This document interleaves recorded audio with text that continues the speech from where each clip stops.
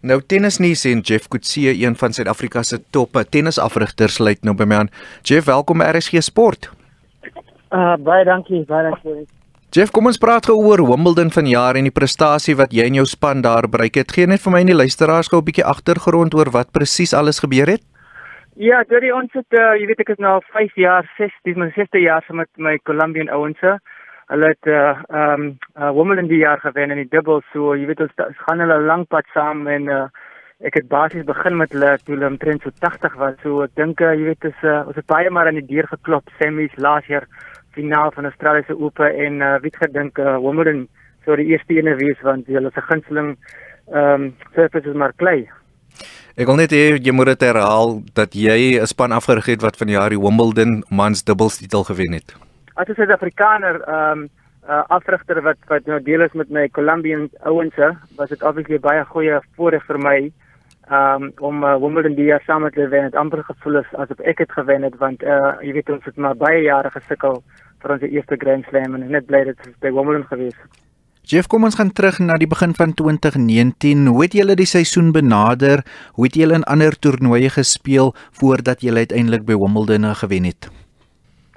Ja, kyk, uh, ons het laas jaar baie goed gedoen by by Australiese Ope en toe ons nou weer die jaar gaan weet dit gaan is altyd moeilik om dit uh, die volgende jaar te doen.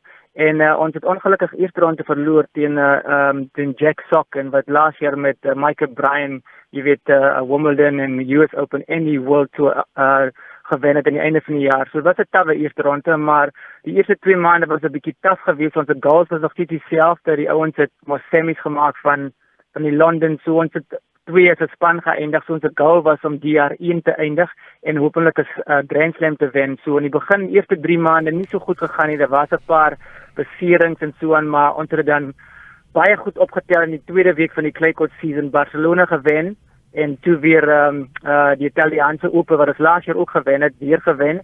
En ehm um, ja, in 'n semifinal by uh, Franse Ope. So dit was 'n goeie begin. Uh, ek dink hulle kon uh die dit ehm uh, um, uh, gewen het, maar ek dink hulle het te veel druk op hulle self gesit weer eens en dit is die tweede keer wat hulle uh, as favourites in die semifinal wat die laaste vier spanne oor was wat hulle sou die gunsteling gewees het, maar nietemin toe, toe ons maar weer terug gegaan drawing board toe en uh, jy weet op die gras het hulle eerste ronde teen Murray en Lopez gewen en uh, verloor in Queens wat hulle wat Murray en Lopez toe daai toernooi gewen het. So toe gaan ons maar weer terug en toe speel ons 'n kleiner toernooi op gras en dit is die eerste keer wat hulle toe 'n uh, uh, semifinal op 'n gras toernooi uh, gedoen het te die wenlik die toernooi. So dit het hulle baie confidence gegee en obviously Wimbledon was die groot enige gewees daarna. Wat beteken dit om jy weet as jy met die tennispuriste praat, Jeff, dan sê almal Wimbledon is die Grand Slam om te wen en almal wil dit wen. Wat wat wat maak Wimbledon so spesiaal? Ek dink is maar net die die die weet die die die history van van Wimbledon, hoe hulle is. Wimbledon is een 'n baie unieke Grand Slam. Die ander is jy weet elkeen het sy eie soort of uh, motivering. Uh, elkeen sê as jy daar inkom, jy kan sien jy weet daai tradisie. Sal ek maar so sê as jy nou een in een woord moet sê as die tradisie van Wimbledon en ook dis by 'n klub. As jy by 'n federasie wat jy speel of 'n National Tennis Symphony, is so prestige um 'n klub dat jy weet jy weet uh, en jy kyk aan die mense jy weet met die taiers hulle na die restaurante toe gaan en alles is wit en dit is die enigste toernooi wat basies uh, alles jy moet wit het en is baie streng op dit. So apart met al dit en en en ek bedoel is baie geskiedenis veral op Centercourt uh, en ek dink dit dit is uh, wat dit so uniek maak mense kom geniet dit jy weet uh, die, die die fans love it. Hulle jy weet dis baie weinig wat jy hulle doen soos baie kere. Dat dit vroeg in die oggend geoefen en dan sit uh, met die met die kraal eers wag en hulle loop dit so mooi in voor jy net gaan en jy weet daai tradisie so waar jy by die ander dance lem die hekke maak net om en almal storm in. So elke klein dingetjie het maar sy unieke ding wat baie goed is vir die Grand Slams. US Open is 'n bietjie wild, dit is baie kleurvol. Uh Frans op dieselfde, jy weet, dit is 'n bietjie anderster. Uh die Australiese is weer baie meer relaxed. So elkeen het sy eie unieke styl.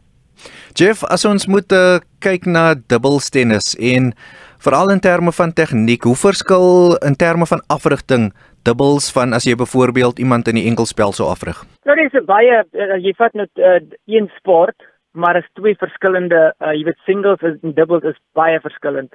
So daar's uh, met gepaard wat gaan met dit is daar soveel die manier tegniek en uh, en is baie vinniger en jy, jy, die baan is kleiner en so aan waar enkels is baie meer ehm uh, fisies en endurance en so aan maar die margin is soveel meer